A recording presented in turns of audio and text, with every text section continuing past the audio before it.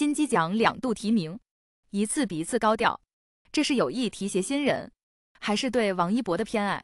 两度提名金鸡奖，何愁没有戏拍？更别提资源平台围着王一博转。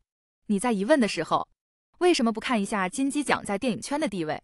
与香港金像奖、台湾金马奖并称华语电影三大奖，与华表奖、百花奖并称中国三大电影奖，含金量不言而喻。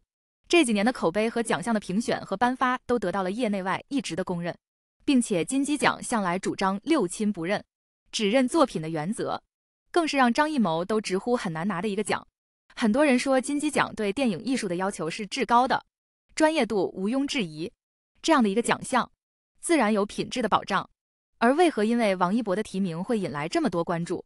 因为他是热度和流量的集中地。作为一位年轻演员，不被讨论才没有任何的价值可言，有争议才有关注，这是正常不过的。金鸡奖连续两年给了王一博提名，从男配到男主，王一博未免走得太幸运了吧？这样有分量的奖，说提名就提名，让其他人羡慕不已。可是你们有没有看到一点？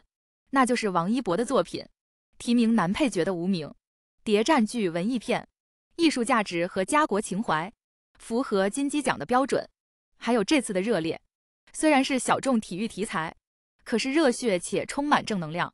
这是为了宣传街舞而拍摄的，更是代表中国影片在海外宣传。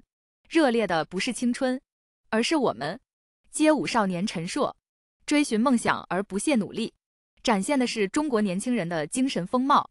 这部影片在全球三十多个活动中展映，成了中外文化交流的名片。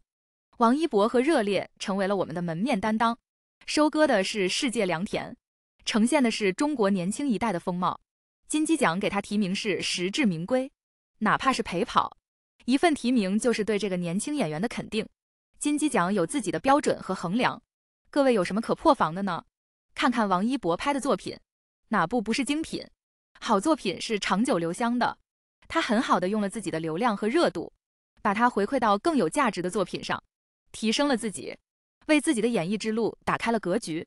对于演戏，王一博是认真和有野心的。他没有乱接戏，注重艺术跟品质，提升演技，很有自己的规划，确实值得表扬。外界纷纷扰扰，终究会在实力面前偃旗息鼓。